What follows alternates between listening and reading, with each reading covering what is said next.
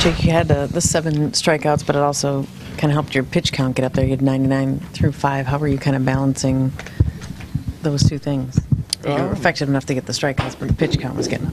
Yeah, um, yeah. I think the fourth inning is what it was, where I went three-two on I think three guys in a row. That really drives it up. But uh, um, you know, th- today was a much more frustrating outing than you know the last one, just because I felt like I was you know in control for the most part of the game, and uh, you know I got away there in the sixth inning. Um, but I thought my stuff was you know considerably better, just from a pure feel point than it was uh, against the uh, the uh, the Indians.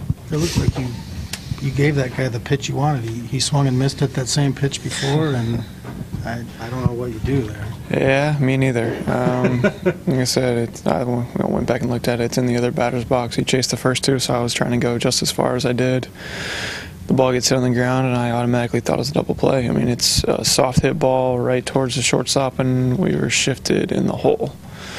So, you know, in that situation right there, it's just that has to be a double play. Um, you know, you make the pitch, it changes everything from that point on. Obviously, uh, you know, have a chance to get through six. Press stays down there, um, but uh, you know, when you're playing that far over, it's it's a tough play for him to run over and just try to you know get an out, not even turn a double play. So, I think you know that's just something that. That, that really can't happen in that situation. We have to be able to turn double play when we have a double play situation.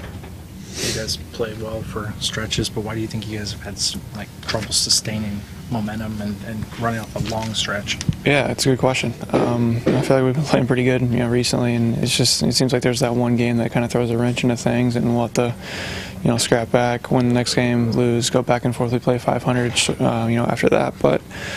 Um, there's there's a lot of you know you'll have games like that whatever it is but um, we just have to be able to win series. I think that's really what it boils down to. If you don't you can't string together a long you know winning streak you just have to you know take two out of three three out of four whatever it may be and it may not be pretty but it gets the job done when it comes to September. Like I said the focus should just be winning series and if you can you know rattle off 10 12 in a row that's great but you just have to you know beat the beat the team you're, you're facing A pull hitter like Abreu, do, do you have to change your mentality at all if you move your infielders around? Does it does it affect you as a pitcher? Um, 'cause I I don't even think I don't really picture him too much as a pull hitter. I mean, he's a 300 hitter. Uh, most of the time, those guys aren't dead pull hitters. Um, you know, they they put the ball all over the place, and with two strikes, a lot of guys kind of focus on back up the middle, whatever it may be. So, um, said I threw the pitch I wanted, got the result that I wanted, and we just uh, weren't in the right spot for that perfect situation. So. Um, I said, it's, it's, it's frustrating. Like I said, I, I